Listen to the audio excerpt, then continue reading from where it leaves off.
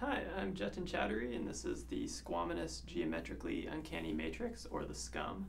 Uh, it's basically just a drum machine, three pads by three pads. Each pad has a sample loaded into it, um, and depending on how hard and where on the pad you hit the you hit the pad, the tone and the volume of the sample changes.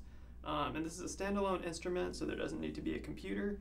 Uh, you're able to load samples in from your computer to a Teensy microcontroller and then just plug into power and uh, audio out, and uh, that's pretty much it. So you've got your uh, floor tom, kick drum, hi tom, and then a couple snares, hi hats, and cymbals. Uh, and so we're able to play beats.